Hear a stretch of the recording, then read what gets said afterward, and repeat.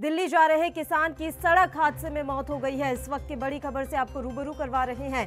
भिवानी ज़िले के मुंडाल गाँव के पास बैरियर पर यह हादसा हुआ। दिल्ली कूच कर रहे किसानों के ट्रैक्टर को ट्रक ने टक्कर मार दी। ट्रैक्टर में सवार धन्ना सिंह नामक किसान की मौके पर ही मौत हो गई। एक किसान की मौत और दो घायल बताए जा रहे हैं।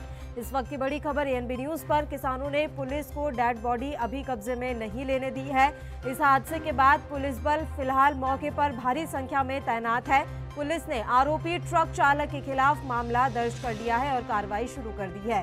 दिल्ली जा रहे किसान की सड़क हादसे में मौत, इस वक्त की बड़ी खबर। इस समय आप देख रहे हैं अपने टेलीविज़न स्क्रीन पर, भिवानी ज़िले के मुंडाल गाँव के पास ये हादसा हुआ है।